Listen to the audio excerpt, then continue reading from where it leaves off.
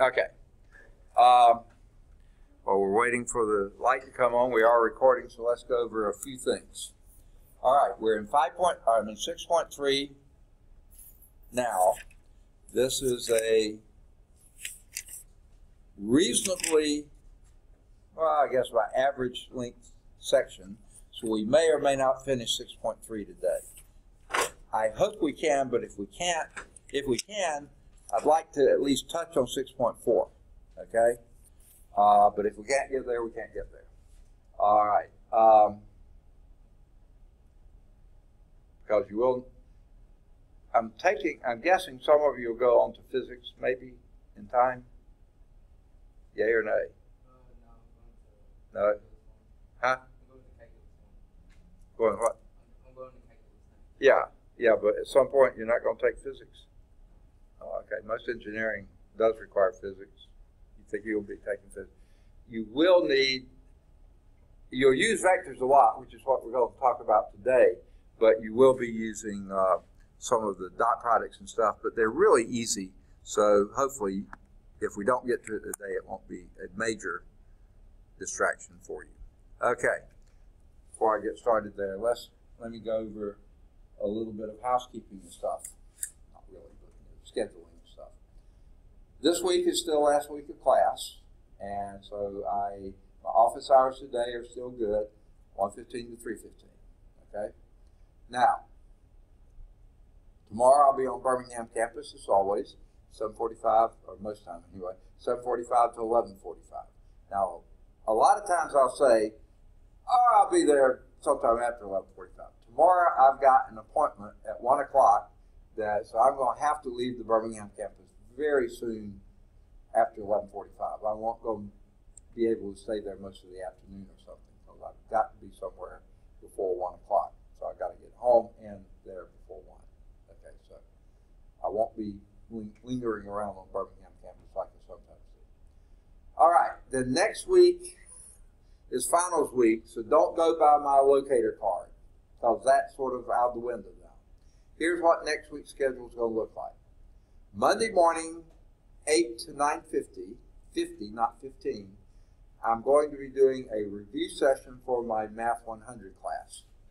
So uh, some of them may opt to take the final, which they can. I'll have someone else monitoring or uh, proctoring that for them. The rest of them I'm going to be doing a review session with them. Okay, so that gets up to 10, 950. After that, I'm probably going to be in the office most of the day, with this exception. I'm letting those students in that Math 100 class, because they were taking up what was their exam period with the problem with a review session, they can come in and take their exam anytime they want to next week. So that means I can never tell you exactly when I'm going to be in my office because I could have students coming in anytime. They could say right at 10 o'clock, okay, I want to take it now because it's fresh on my mind. Well, then I'll give it to them then. Or they'll say, can I come in Wednesday? That will be fine. Can I come in Tuesday? Yeah. So anytime, Monday afternoon. I can't say when I'll be in the office. So after 10 o'clock on Monday, say, check my office first and then start coming this way. Uh, when a student comes in to do a makeup exam, I usually go to the classroom closest to my office so I can go back and forth more easily and even maybe hear the phone ring if it's ringing while I'm know, giving the test. So I will be either in my office or in some classroom in between my office and here. Uh, at least one of those will be open, just about always. Okay, Terrell is here, and Tadarius is here. All right.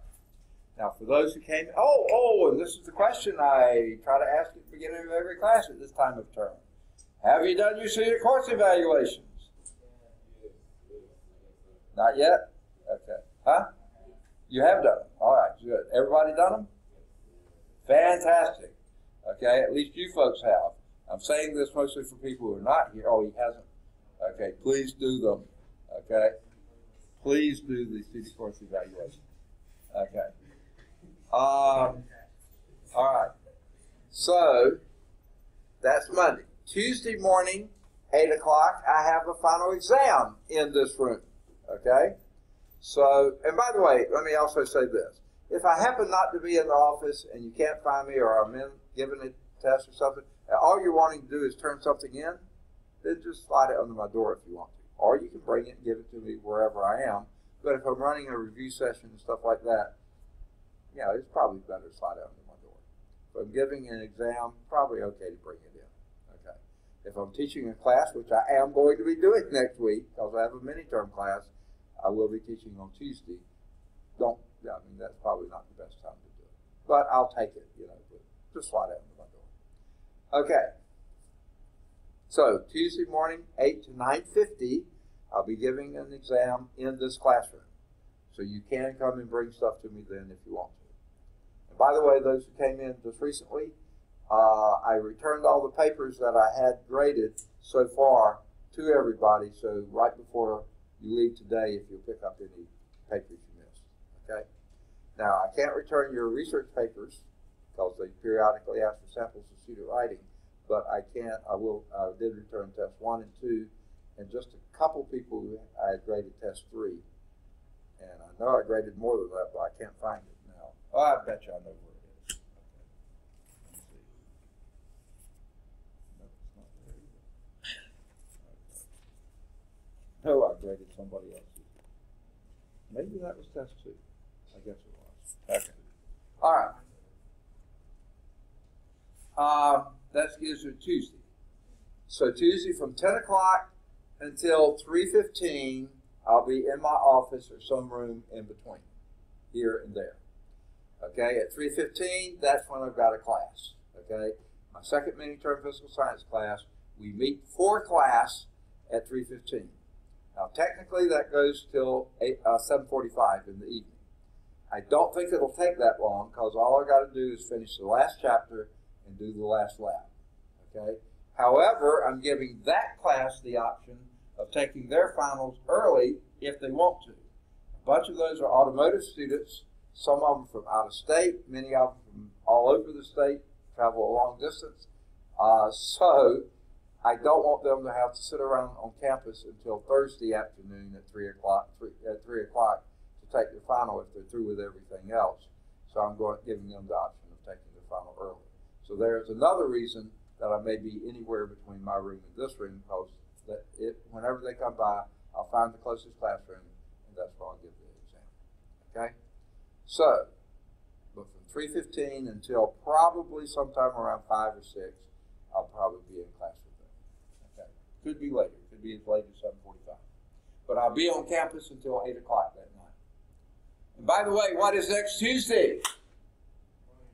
Voting day, okay? If you're registered to vote in the state of Alabama, please plan to do so either before you go come to campus, and but while you're, I mean, run home and do it then, or before you get home. Be sure you between seven and seven. That's when the polls are open. Please don't fail to vote if you're registered to vote in the state of Alabama. All right, important election. Okay, next Wednesday, nothing scheduled. So from 7:45 in the morning until 3:15 in the I mean 5:15 in the afternoon, I should be in my office or some classroom in between there and here. Okay? If someone comes by to do a makeup. Okay? Thursday. Okay? From 7:45 in the morning until 3:15 in my office or somewhere in between. Okay? 3:15 is technically when that physical science class has their final exam. Some of the students may elect to wait and take it then. If they do, I'll be in here, actually at 3 o'clock, in here at 3 o'clock giving the exam. It's not going to take more than an hour, I don't think, for them to finish their exam. So by 4 o'clock, hopefully I'll be back in my office or somewhere in between. Okay, Friday, I'll be on Birmingham campus, 745 to 1145. Okay? And then next the week after that, I think grades are due by noon on Monday. So occasionally they'll give us an extra day and make it noon on Tuesday or even possibly Wednesday. Now, why am I telling you that? You don't have to be here. Well, here's why. Some of you are new at Lawson, others have been here a while. But if you're not familiar with how we do things at Lawson, you know, your student suite, our faculty suite, you know, that employee suite, that's an archaic system. And we only have, last time I checked, 16 portals to access that system. That means no more than 16 people can be on it at a time. They may have upped it to 32. I'd be surprised, but even then, it's very few. And what happened the first time we use this during finals week, students were all the students were trying to get on the portal on the system to see what their scores were. And guess what? We, the instructors, could not get on because they were using all the portals. We couldn't get on the system to put the grades in, and the students were griping that the grades were in. You know, it was an untenable situation. So what they decided to do, and they've done it ever since, is shut down Student Suite during finals week, and the next week too until grades are in, until whatever that deadline is, Monday at noon, Tuesday at noon, or Wednesday at noon. Student Suite you will not be able to access. But guess what? If what you're looking for is your grade, I and most other instructors put the grades on Blackboard before we put them on Student Suite anyway. So go to Blackboard. Blackboard is always open, except when it's down, okay, which happened either in the summer or last spring one. Uh, Whitney's here, and Cheston. All right. Okay, for everybody who comes in, I ask the same question. Have you done student course evaluations? Have you done student course evaluations? Yes. Yes, good, good, excellent. So Tadarius, it's just you now. Please get them done. Okay. All right. Uh, also, I returned at the beginning of class all the test ones and test twos and a few of test threes. Uh, but I didn't quite finish grading all the test threes, so I'll get those done either today or tomorrow. So if you want to come see me before 3:15 in my office, I'll give you your test threes if you got if you turn them in before today, okay? Or if you uh, if you're on Birmingham campus tomorrow, you can pick them up then. Justin's here, okay? And for everybody who comes in, I ask the same question: Have you done the student course evaluation? Please do that. Please do that. The dean is really on our cases bad, so please get those done. I can't hear you again. Okay, tomorrow what? For tomorrow, Right. the, usual seven to. Seven forty-five to, to eleven forty-five. Okay, tomorrow tomorrow's Friday. That's my short day, because I'm here until eight o'clock, Monday, Tuesday, and Thursday night, so I have a shorter day on Friday. Uh, seven forty-five to eleven forty-five, but I'm on the Birmingham campus. Okay? Uh, so, yeah, if you wanna turn something in. Now, if you're just turning something in, if this campus is more convenient to you, slide it under my door tomorrow. I'll pick it up Monday morning. Okay, but if you're trying to pick up something from me, get it. But if you are going to see me, okay, listen up, everybody. If you need to interact with me and me give you something on tomorrow and you're coming to the Birmingham campus, please let me know. Because if I've graded your test, okay, it may be here and I'm there. So if you come there, I won't have it on me. So if you are going to come tomorrow to pick up your test three or something like that, let me know and I'll take it with me so I'll be able to give it to you. Otherwise, it'll be here, I'll be there, and that won't be too good. What's? That? Tuesday? Uh, next week, okay? I have a final exam in this classroom, eight o'clock in the morning until nine fifty. Okay? After that, I'm free until three fifteen. Three fifteen, I've got a class in here, my mini term class, and it goes probably won't go to seven forty-five, but it could go that long. Okay? Something ten to three. Ten to three. Exactly. Okay. All right. So let me get the people who just came in.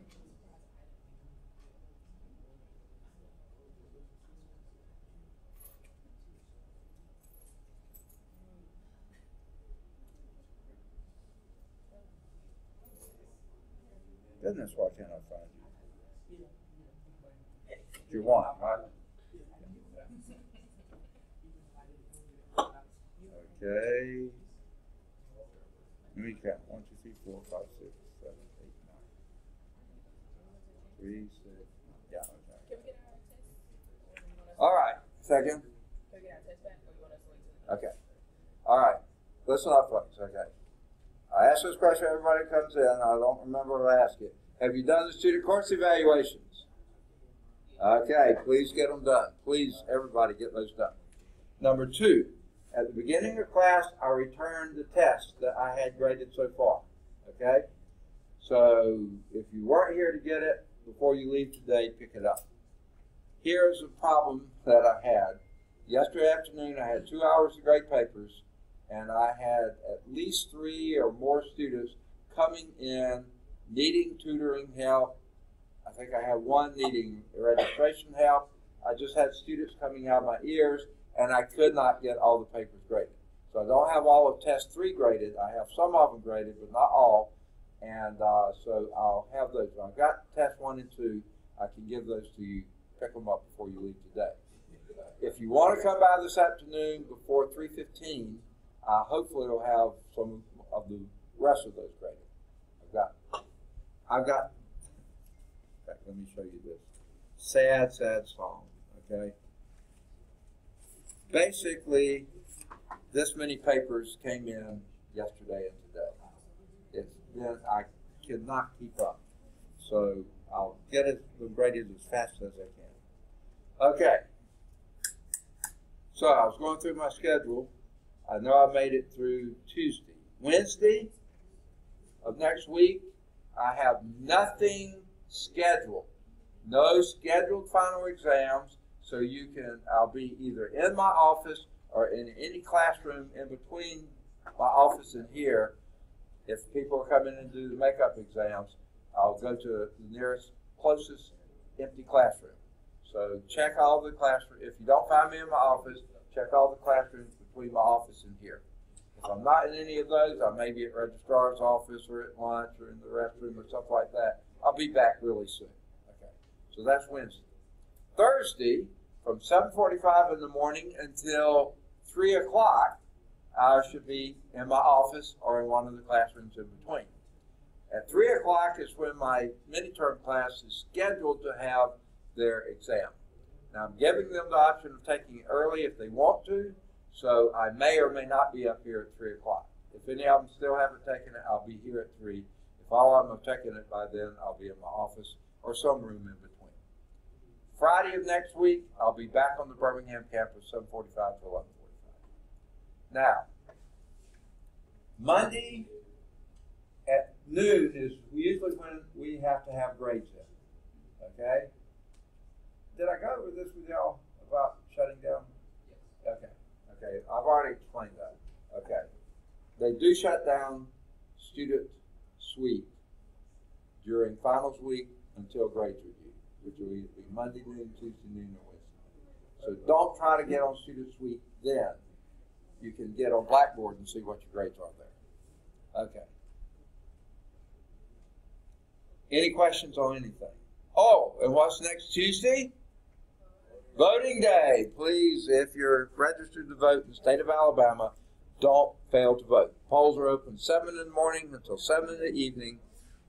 I have to vote in the morning because I'm here till 8 o'clock next Tuesday evening. So I've got to vote in the morning on the way in. All right. Any questions on anything before we proceed? All right. We're in chapter 6, additional topics in trigonometry. We're now in 6.3, vectors in the plane. What in the world is a vector anyway? Anyone know? A vector. A what? Okay. One definition is a directed line segment. Now, those two key words there. Directed means a vector has a direction. Okay, that's part of its vectorness is its direction. Okay? The second part of its vectorness is that it has a fixed length. So that's why we say a line segment. Okay? This is Kanisha, right? No, I'm sorry. Chelsea? Sorry about that. Okay. Have you done the student course evaluation? The student course evaluation. Please do that. Uh, there is no, well, I'm sure there's a deadline. Uh, the deadline technically is after finals week. I don't know how far after finals week, but when I was a student, when I finished that last final, the brain turned off and I didn't think about things again until I came back the next term. Don't let that happen. If you do want to wait and see what your score is first, you can do that. But if there's a chance you're going to forget it, do it ahead of time. Okay? It's open now, anytime between now and but they will shut it down sometime after grades are in. I don't know when, but they will shut it down. So I can't tell you exactly when the deadline is. Sooner rather than later. Put it that way. Okay. And number two, before at the beginning of class, I returned all the papers I had graded so far to everybody. Uh, so before you leave today, put those up on your way out. Now I didn't finish grading all test threes. I was working on those yesterday when I was barraged by students needing tutoring, needing registration, needing all sorts of things, and I just ran out of time before I got all your papers graded. So if you need those to study for your final, come before 3.15 today, and hopefully I'll have them graded by then, or come to the Birmingham campus tomorrow. But if you are going to come to Birmingham campus and pick them up tomorrow, let me know so I'll take them over there. Otherwise, they'll be here and I'll be there. Or you can come by Monday. Hopefully, they'll all be graded by Monday. Uh, and Tuesday, Wednesday, Thursday, yeah. Whenever you come through your test, if you want them before the test, come see me. If you want them when you turn in the test, come see me. I'll give them. All right. Let's go back to vectors. Yes, a vector is a directed line segment. Okay? What our objectives in this section are to represent vectors in as directed line segments. There's a word. Directed line segments. Two key parts here. Directed means they have a specific direction. Segment meaning it has a fixed length. Okay? Uh, we'll write the component form of vectors, which is the easiest, the best way to write a vector is in component form. There are other ways to do it, but that's the best way. We'll perform basic vector operations and represent them graphically. If you do it in vector in component form, it's much easier, much more precise. Graphically works okay too. We'll write vectors as linear combinations of unit vectors, and we'll deal with that. We'll also find the direction angles of vectors. As I said, vectors have, but by their nature, they have a fixed direction, and we'll use vectors model and solve real life type problems, specifically physics type problems. So let's hit the introduction here. Quantities, let's start with this. Quantities such as time, mass, that kind of stuff, energy, those are what we call scalar quantities. They just have a number. Okay? Really, something like height usually is just a number. But there are other things, such as forces. A force is a push or a pull, it has a direction associated with it. Velocities have directions, accelerations have directions. Okay? Momentum has direction. Okay? So there are other things that actually have directions as well. So certain quantities such as forces, velocities, accelerations, momentum, they have both the magnitude, how big they are, and also the direction, which way are they heading. They cannot be completely characterized by a single real number. Your mass, yes. Time, yes. You know, energy, yes. Characterized by just a number, with units, of course, but but those quantities cannot. To represent such a quantity, we use a directed line segment such as this one. Now, here's a characteristic of a directed line segment you have an initial point, and quite often that's called P. Okay? There are other times we'll be given other designations, but that's going to be your initial point. Q is typically what we call the terminal point. Okay? And it's important to distinguish those. Why? Because you're going from P to Q. Okay? You're not going from Q to P. The direction matters. Okay? So it's going from P to Q. That's a fixed length. That's your segment, and it's a fixed direction. from P to from initial to terminal. Now, some vectors later on, we will put them in what we call standard position, then P will always be the origin. So then we could just refer to this as vector Q or V or something else like that and not M. So when you see the vector designation PQ, that means P's the initial, Q's the final. If that was RS, R would be initial, S would be final. Whatever is listed first is the initial point and listed second is the terminal point. Even if it's going in the opposite direction, when we list them, that's what it means. Okay, Doc is here. And for everybody who comes in, I ask the same question. Have you done the student course evaluations? No. Please get those done. Huh? Uh, okay, that, that question was that. I don't know when they're going to shut it down. I know it'll still be open through finals. Okay, but you see, I'm not going to see you after finals, and I won't be able to ask you after finals, so please get it done. Um, I don't know how long after finals they leave it open, but they will shut it down after some time. So I suggest do it sooner rather than later. Okay, please.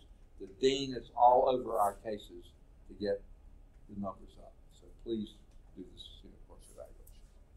Okay, number two, at the beginning of class, I returned all the test ones and test twos and a few of the test threes. Okay, I know I've got yours graded, so I can return yours. But I, I was just barraged with students yesterday afternoon needing tutoring, needing registration, trying to make up work, and that kind of stuff. And more than half of the office hours I had were spent helping students. So I didn't get a chance to finish doing all the grading. Sorry about that. Okay, I'll be giving it out at the end of class today. Actually, it'll be in two parts. Let me go on and talk about that then. The first part will be what we covered in chapter six. We covered section one, section two. We're in section three right now. Don't I won't ask you any questions on section four. Even if we get to cover some, I've already got it made out. So I just get stopped it at, at section three. Okay, uh, that would be the first part of your test. That's be test four. Okay, and then the comprehensive part will be very short. Both of these much shorter than your other tests have been. Uh, basically, ten questions or fewer each, and they'll be pretty short, pretty sweet. Uh, I think I can't remember how it broke down. Maybe five questions on chapter one, on chapter four, four on chapter five, and one or two on chapter three. I can't remember how it broke down, but it's it's split up that way. Most of the questions are on chapter five, four and five, and just a few questions on chapter six. Because chapter six test will be ten questions there. Okay. And, and before you leave today, pick up the test that I have graded and pick up your uh, last test in the final exam. They are take home. Good question, by the way. All right. So, any questions about what a vector is? Okay.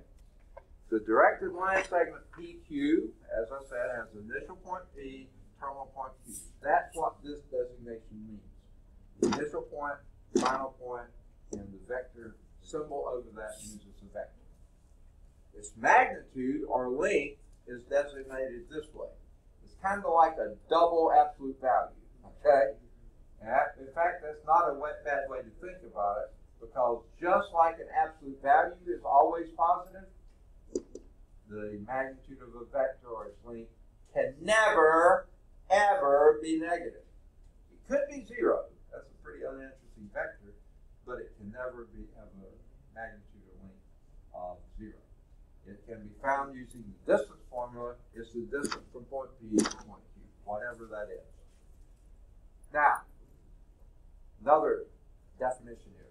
Two directed line segments that have the same magnitude and the same direction are called equivalent. Sometimes we'll call them equal vectors. Like every one of these vectors has exactly the same length, though they're in different places in space, but they're going in exactly the same direction. So all those are what we call equivalent vectors. Other circumstances will say the vectors are equal. Now, if one of those were pointing this way, it has the same magnitude, but it has the opposite direction or a different direction, not equivalent. Okay. Uh, same direction, different magnitude, not not equivalent, and certainly anything else not equivalent. So all five of those are equivalent vectors. Same magnitude, same direction. Okay? The set of all line segments that are equivalent uh, to a directed line segment PQ is called the vector V in the space. So any vector V that has the same magnitude and the same direction as PQ uh, can be called vector V. Now, notice something here. When you use the two-letter designation, initial point, final point, you always put an arrow over it. Okay? And you have the arrow point on it. When the book represents it by a single letter, like V, they put it in bold type. Guess what? I can't write bold. So if I'm writing the vector V, I will also put the arrow over it. The book is writing it, they will put it in bold. So vectors are denoted by lowercase, boldface letters like U, V, W. It could be any letter, but if you see it boldface in the text, on the slide, that means it's a vector. If I'm writing that, I put an arrow over it. Now, there's one slight exception to that. And we're going to get these later today, hopefully. These are what we call unit vectors. What do you reckon I mean by unit vector? They have a number. Say what? They have a number. All vectors have numbers. Okay? What would a unit vector be? What number would it have? Who knows? One. Magnitude of one. If a vector has a magnitude of one, it's called a unit vector. Because vector can have any magnitude, right? It can be very short, very long, whatever. If it has exactly a magnitude of one, it's called a unit vector. So if this W was a unit vector, I'm usually going to write that with a caret, a hat, a housetop over it to indicate it's a unit vector. But otherwise, I'll put an arrow over it, meaning it's a vector. Okay. The book doesn't make those designations. I too, I try to do that. Okay. So here's example one. It says, show that U and V are equivalent vectors. What are the two requirements to be an equivalent vector? Same direction and have the same magnitude. And Same direction. same direction, okay? Now, how will we determine magnitude? The distance formula, okay? And anyone remember how that goes?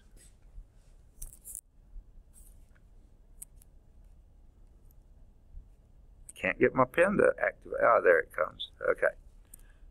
Well, I can't get it to activate. There it goes. Okay, the distance formula is this. The square root, and this is the magnitude, let's say, of vector v, would be the square root of all right.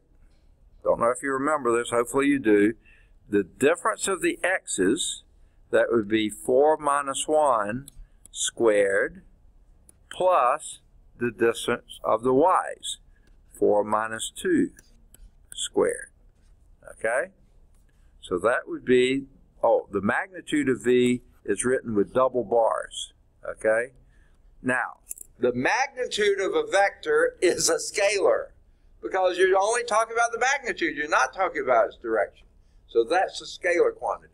So even though the vector v is a vector, its magnitude is a scalar. Okay? What it means. So what would this be? The square root of?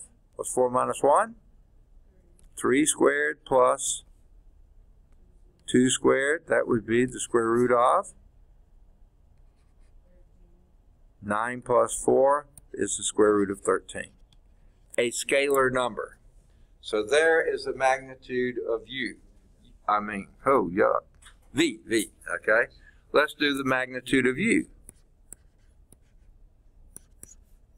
What would that be? This is PQ now. What's the magnitude of u? Help me, help me. Magnitude of u.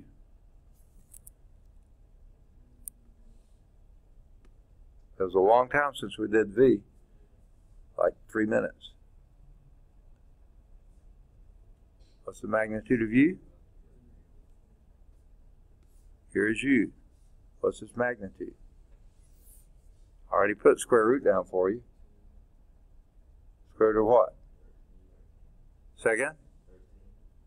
That's the square root of 13 as well. So we're halfway there, folks. They have the same magnitude. But we don't know if they have the same direction. Now, they kind of look like it, but how do we tell about direction? What are we studying now? Trigonometry. What in trigonometry might give you a direction? Slope. Okay, slope would. You're absolutely right, and that doesn't have to be with trigonometry.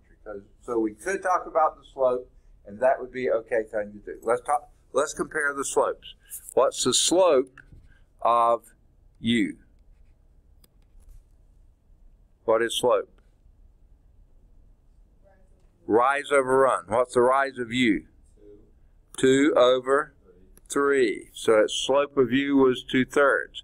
What is the rise of the slope of v? 2 over 3. You're absolutely right. Okay? Now, I asked the trig question. What else is 2 over 3? What is rise over run in terms of trig?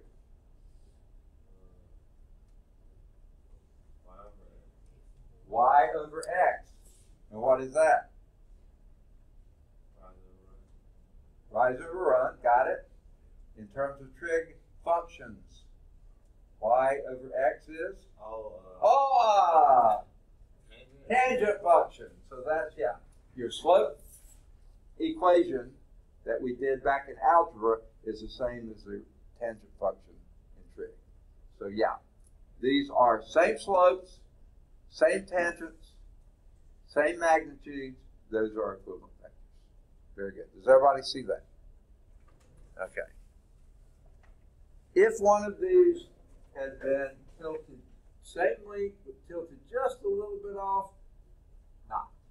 Or same direction, but not quite as long, or just a tad longer, not. Okay? They have to be same magnitude and same direction. All right, let's see how they did it. Okay, first they did PQ, which was from the origin, 3 minus 2 squared plus the square root of 3 minus 2, 3 minus 0 squared plus 2 minus 0 squared. And yes,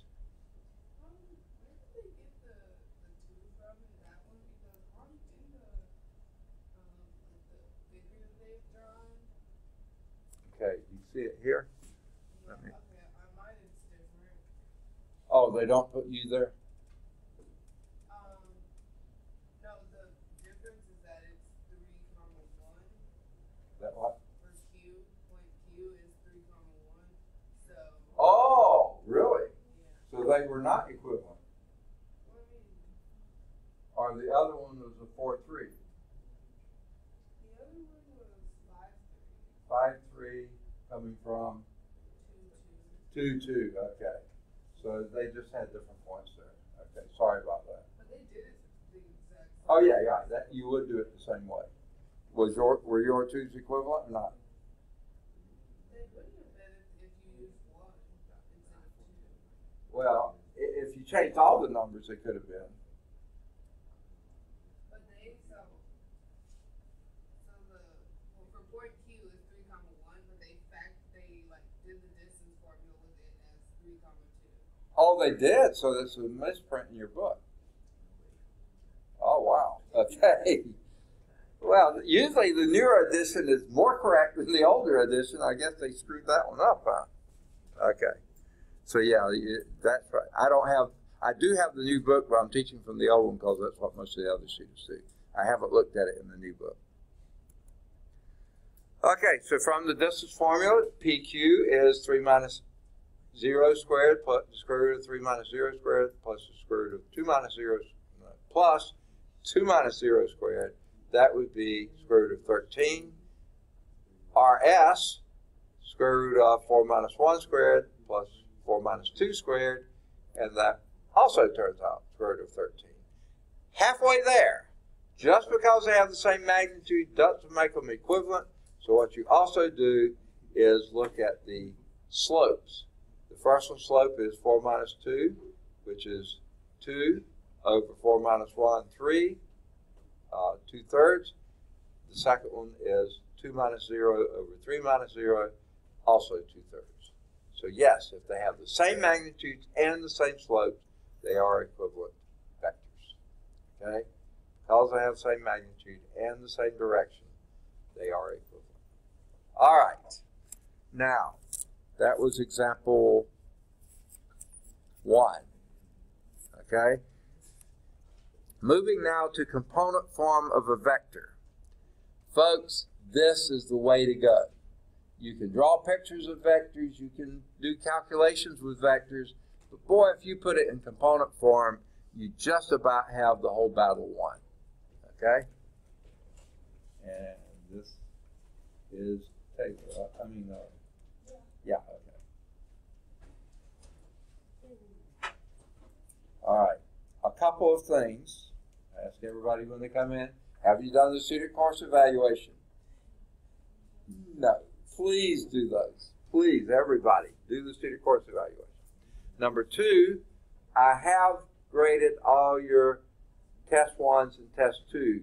I've graded a few test threes, but I didn't get to finish those because I was barraged by students yesterday afternoon with, uh, I only had two hours of office hours, and I had one guy in a calculus class that was in and my, out of my office at least three or four times needing tutoring help. And I just, it ate up my afternoon. I had another guy who was in and out of my office trying to make up quizzes and tests and then I had somebody else, yeah, another guy uh, who was trying to make up a test, and they were just in and out all afternoon, and I couldn't get all the grades. I took them home last night and got zilcho graded last night because things came up at home that I couldn't control either. So, well, I had to go to the store with one thing. That it was a mess. So I'll try to get those finished today if possible. Definitely by Friday so if you want to come by Birmingham campus, you can come by my office here before three o'clock or three fifteen and pick up your stuff, or you can come Birmingham campus tomorrow anytime between seven forty-five and eleven forty-five. But let me know if you're coming there so I can take your papers with me, or you can pick them up anytime Monday. I should have everything graded by Monday. Uh, so pick them up Monday or Tuesday or whenever and uh, I will be giving your last test, the chapter three test, and the comprehensive final at the end of the class today. So you can take that home. So if you want to know what you scored on the others while you're working on that, see me and I'll try to get them to you. But see me at the end of the class to get test one and two. And a few of you can get test three. I got a couple graded, but that's all. All right, so let's look at component form of a vector. Okay? A directed line, the directed line segment, whose initial point is the origin, and is most often the most convenient representation of a vector, like the one that had 0, 3, 2, you know, that one, um,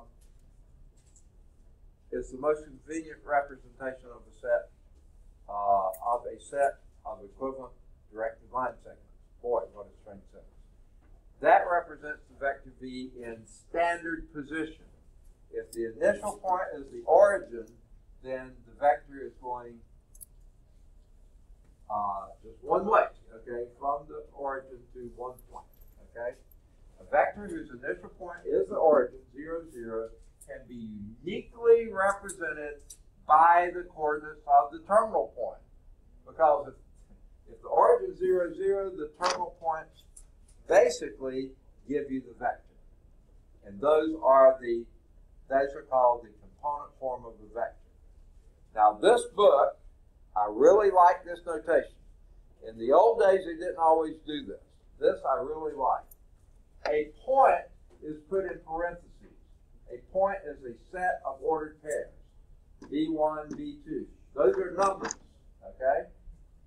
Now, if that point is the terminal point of a vector whose initial point is the origin, that same set of ordered pairs represents the component form of the vector, v1, v2. So how do you tell the difference between a point, parentheses, and a vector? The vector is in angle brackets. Now this is a fairly new notation. I've just seen it in the last, say, 10 or 15 years. Back when I was in college, I never remember seeing vectors represented with angle brackets. I really like that component form. But guess what? This very same author we use his calculus book now. I haven't started teaching from that because it's only Cal 1 has it now. I'm not teaching Cal 1 this term. But he, I've glanced at the book, he uses that for the Cal 1 text. It's the same author, right? Okay? Guess what? We use the same author for a linear algebra text.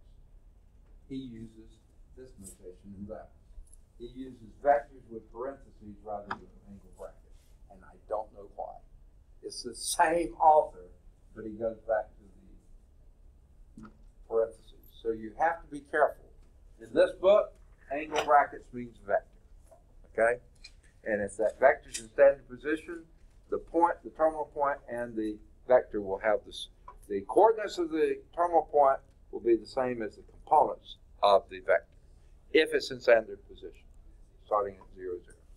The coordinates v1, v2 are called the, when the coordinates, when the vector has initial position at the origin, the coordinates v1, v2 are the components of v. If both the initial point and the terminal point lie at the origin, then you have the zero vector. Okay? I have a problem with the zero vector. You have to have it. Okay, I'm not saying you can't. But what's the problem with the zero vector?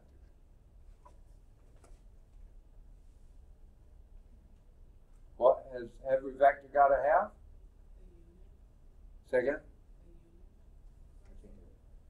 What'd you say? A unit. A unit. A unit. What do you mean by that? Okay. What was our definition of a vector? Had to have a magnitude and a direction. What's the magnitude of the zero vector? Zero. What kind of magnitude is that? And even worse, what direction is the unit is the zero vector? It has no direction. It's not going from anywhere to anywhere. Okay. So therefore, I have some problems with the zero vector. It really doesn't have a magnitude, and it definitely has no direction. Okay. But you still have to have it. Okay. It's defined as the coordinate zero zero. Okay. No magnitude, no direction. So the component form of a vector uh, with initial point P1, P2 Notice this is not the origin now. Terminal point Q, Q1, Q2, here's how you give the component form of that vector, PQ. It's the first component, Q1 minus P1, because this is the initial, that's the final, always final minus initial. So uh, Q1 minus P1, comma, Q2 minus P2. Put those in angle brackets that gives you V1, V2, and that's the vector V2. Okay? So it doesn't have to be at standard position. If it is, you know what those are. But if it's not, the magnitude of that same vector would be the square root of this thing squared plus that thing squared. The components of the vector squared, which would be V1 squared plus V2 squared. Now, here's where I mentioned before if the magnitude of some vector v or any vector happens to be 1, we name that the unit vector. If its magnitude is 1, it's a unit vector. If the magnitude is 0, it's got to be the 0 vector. Remember, the 0 vector has no direction. It's one and only vector. Doesn't have a direction. Of course, it doesn't have a magnitude either. It's 0. Okay. So let's go back to two vectors. This time they're not at the origin, they're anywhere. U1, U2, V1, V2. Guess what? Those are equal or equivalent if and only if U1 is identically the same as V1 and U2 is identically the same as V2. If their components are identical, they are equal. Okay? Now, that means same sign, same magnitude, same everything. If the components are the same, the vectors are the same. For instance, in example one, where you have vector u going from its initial point zero zero to three two, q was three two, then its representation u would be three minus zero, comma, two minus zero, comma, three two. That would be its components. The vector v, on the other hand, was going from r one two to s four four its components would be 4 minus 1, the initial first, uh, I mean, final minus initial of the first uh, component. 4 minus 1 was 3, 4 minus 2 was 2, 3, 2, same components, same vectors. So those would be equivalent, or now they're saying equal vectors. Okay? So guess what? If you write it in component form, you don't have to calculate magnitude, you don't have to calculate direction. Write it in component form. If the components are the same, same vectors. Much easier to deal with component form than having to do all those calculations. So here's example two. Find the component form and the magnitude of the vector v that has initial point 4, negative 7 and terminal point negative 1, 5. So what you want to do first, component form or magnitude? I don't care much. Component form. What would be the component form of that vector v? If it's a vector, I'm going to put an angle bracket there. What goes in first?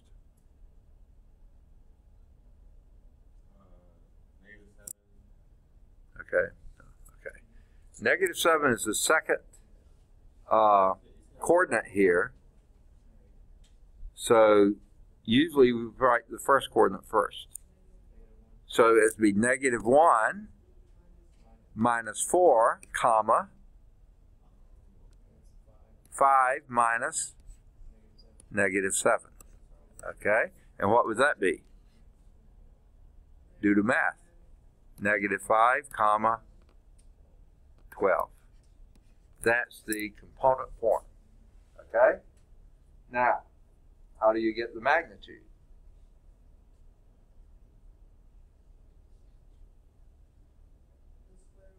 Square root of. So the magnitude of V will be the square root of what? Negative 5 squared plus 12 squared. Okay, which is square root of? Second? 25 plus 144, which is what you say? 169, is that what you said? And what is square root of 169? 13 on the nose. Okay? Most of the time, you're not going to get them to work out that nicely. Notice, even though you have a minus sign here for a component, when you square it, it goes positive. So your, your magnitudes will never be negative. Ever. They're always going to be positive. That's why I sort of like it after that. Quite. And you see, it's far easier to use to get the uh, magnitude from the component form than from your that form. Then you'd have to do uh, minus 1 minus 4 squared plus 5 minus a minus 7 squared. You have to do all the hairy math. If you get to component form, everything is easy. Everything is easy. Okay? So let's clear that out of, oops, wrong key. Let's clear that out of the way. And see how they did it. So let P be negative 4, no, 4, negative 7, P1, P2. Boy, do they ever go around the ear to get to their nose or something. Okay, Q is negative one, five, P being initial point, Q being the terminal point, Q1. Okay, so the component forms V of V1, V2, V1 would be terminal minus initial of 1, and V2 would be term, that would be minus 4, mi- minus 1, minus a minus 4. No, I'm sorry. Minus 1, minus a 4, which would be minus 5. And V1, V2 would be, where is it? 5 minus a minus 7, which would be 5 plus 7, which would be 12. So your components are negative 5, 12. That's your vector V in component form. The magnitude then would be the square root of the squares, sum of the squares of the components. Negative 5 squared plus 12 squared, negative, or square root of 169, which happens to be exactly 13. Okay, that was example two. Let's move to vector operations. Two basic vector operations are scalar multiplication and vector addition. Most of the time we do vector addition then scalar operation, it doesn't really matter. The operations in operations with vectors, numbers are usually referred to as scalars. Okay? So we don't say numbers anymore, we say scalars. So scalar multiplication is some number multiplied by a vector. In this text, scalars are always real numbers. Yes, you could have complex numbers, we're not. We're going strictly have those as real numbers. Geometrically, product of a goodness gracious, head's hurting like crazy. Uh, vector v and a scalar k is a vector that is the magnitude of k, k times as long as v. If k was a small number, you've made v shorter. If k was a big number, you've just expanded k. That's why we call it scalar. It scales up or scales down what your vector v was. The direction of v does not change unless the scalar is a negative and then it flips it and sets it in the opposite direction. All right, when k is positive, kv is the same direction as v. When k is negative, kv is in the direction opposite of that of v. But they're parallel but in opposite directions. Now, don't do this yet. This figure is showing what this is describing here. If this is your vector v, then that would be one half of v. Or this would be one half of v. That would be one half of v. Same direction, but half the magnitude. 2v would be twice as long as the original v, wherever that would be. Negative v would be in the opposite direction of v. Same magnitude, opposite direction.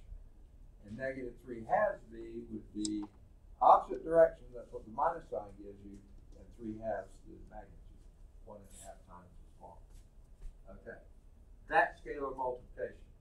Okay, this verbiage goes with the next one. To add two vectors u and v geometrically, first position them without changing length or direction so that the initial point of the second vector v, the second one, coincides with the terminal point of the first vector. In other words, tail to tip or something like that. Head to tail. That kind of a deal.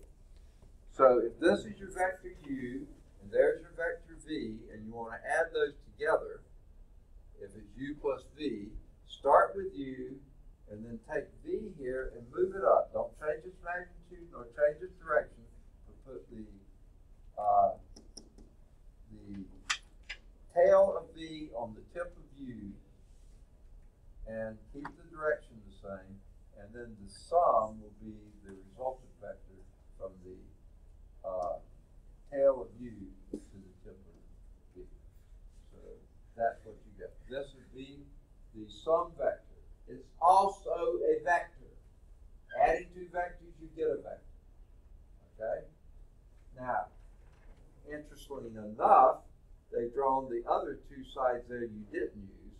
That forms a parallelogram. And sometimes we call this a parallelogram method.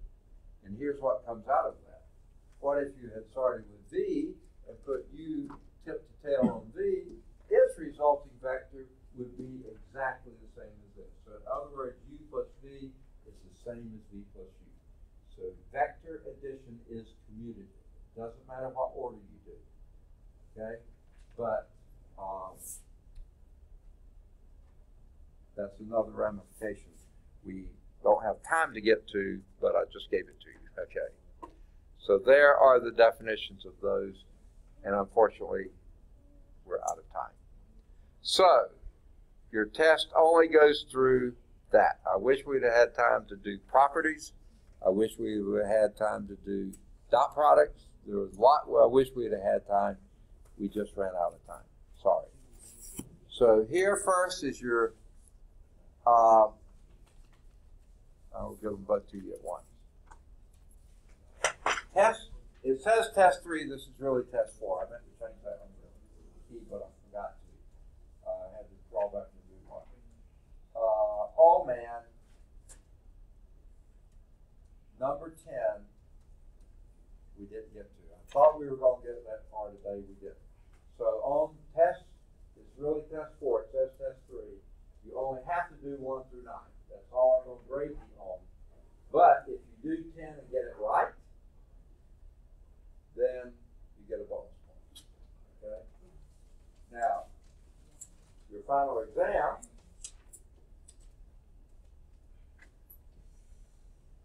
Goodness gracious.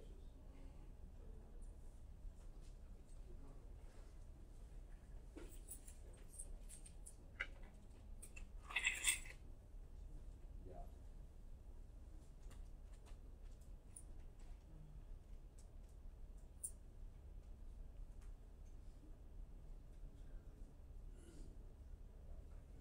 All right, I kind of watched this one too. At number ten, we didn't get to do either on this one. Or ten. I just glanced at this and misread it. This was actually from a previous text. Okay, but the trig is the same. So on the final exam, questions nine and ten are both bonus. Okay, uh, but you can do everything else in them. Okay. So, here are test four, these are test, test three, and the final. I don't think you see any graphics on either one of them, so I don't think you need that paper. That's one Justin. Okay. All right, thank you. All right. Sorry about that. Thought to get further than I ran my mouth too much. Now, let me also say this, for those of you who are picking up and things, there, people who are not here are the problem, not the people who are here. There are some people not here who have not turned in everything. You may not realize whether they turned in things or not, so when you pick up your test, then please don't share it with anyone, because I put the right answers on your test when you may have missed them, and they will only see the right answers, so they're going to dilute your score, okay? So don't do it. When I give you your papers back, keep them to yourself, okay? Because you don't know who's turned in what. All right. Now, your research papers, of course, I can't return those to you because they periodic, periodically ask for samples of student writing. And by the way, if you haven't turned in your research paper, you start losing points after today, so get it in into me today. Okay, Justin, here's your first.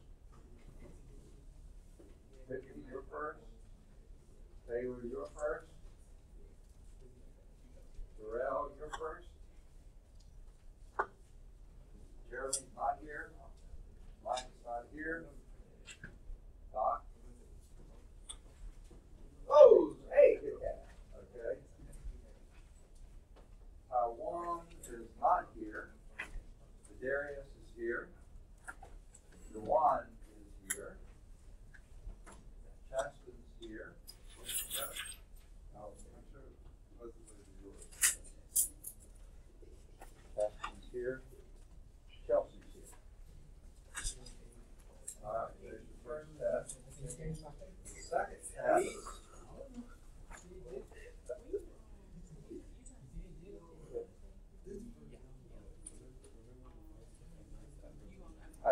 Not be recording all this, should I? Okay. Let me turn this off.